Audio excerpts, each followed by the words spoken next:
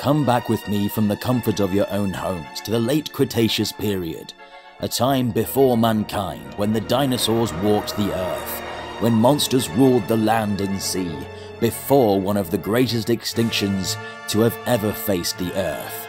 Join me to find out what did the Velociraptor really look like. The Velociraptor mongoliensis was a predatory theropod that lived in the late Cretaceous period over 71 million years ago.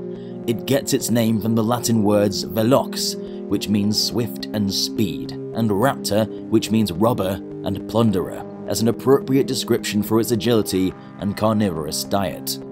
It was first discovered in Mongolia, East Asia, hence the name, on 11th of August 1923 by Peter Kaisen. He stumbled across the complete 25cm skull and toe claw at the dig site in the Gobi Desert.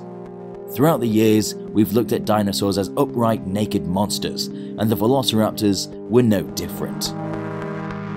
Now there's a few things I'm going to need to address to get on with the science aspect of this video. The dinosaurs seen in Jurassic Park are not scientifically accurate. We all know this. Everything about this velociraptor is wrong, from the scaling, the way their hands are shaped and positioned, to the lack of feathers. The velociraptors in the film, however, are based on the Deinonychus antirrhopus, a larger species of raptor that range from 4 to 5 feet tall and 11.5 feet in length, though the name of this dinosaur was changed by Michael Crichton to Velociraptor in order for the dinosaur to sound more dramatic and frightening, almost like something a real theme park would do to excite the guests. At the time Crichton wrote the novel, their recreation of the Deinonychus was indeed scientifically accurate, though it was scaled up just a bit for Spielberg's film to make them a more formidable foe. But throughout the years following the book's and film's release, we of course learnt a lot more about these fascinating creatures, adding that they did indeed have feathers and their hands weren't positioned with their fingers towards the toes and were instead facing each other like a bird. The raptors seen in Jurassic Park unofficially have more in common with the Achillobator, a species of dromaeosaurid that actually grew up to 6 feet tall like what's seen in the film. Though again there are a few notable differences, most notably skeletal structure, which isn't quite as accurate as the Deinonychus. Now we have that out the way, let's talk about the specifics on Velociraptor mongoliensis.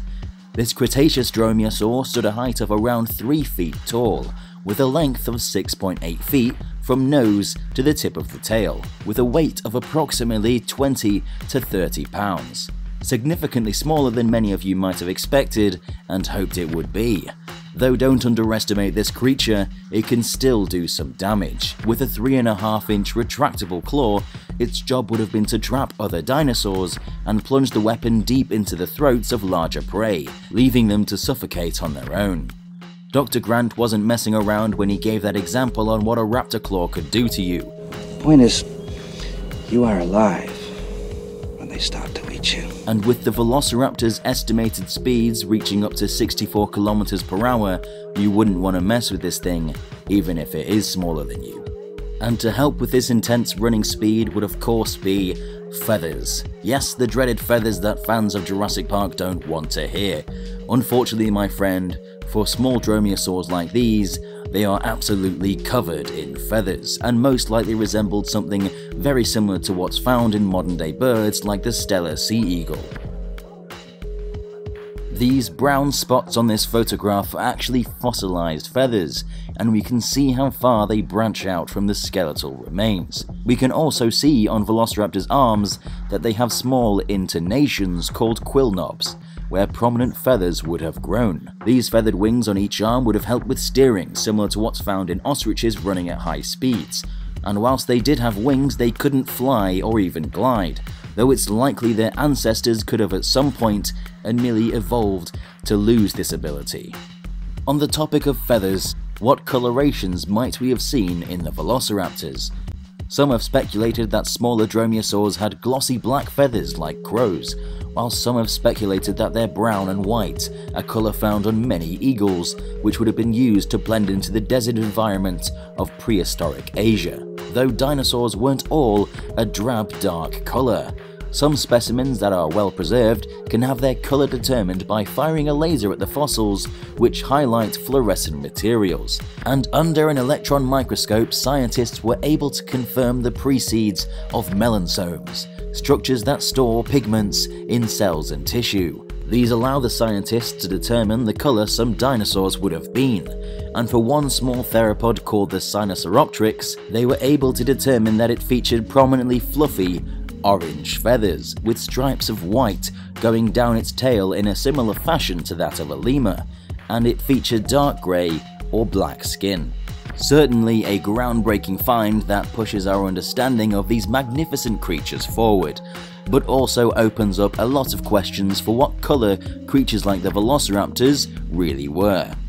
The only thing we can really go off are the modern day raptors, the ones bred perfectly for stalking and hunting. Velociraptor most likely had brown and white patches of feathers, colours that would make it blend into the ground and making unexpected assaults easier.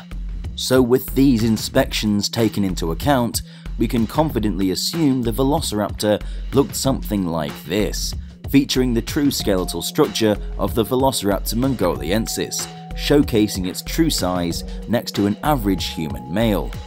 Or this interpretation by renowned artist Fred Wierum, which also features a brown and white colour palette and wings used for steering at extreme speeds. The Velociraptor is one of the most famous dinosaurs to have ever existed, and it's easy to see why.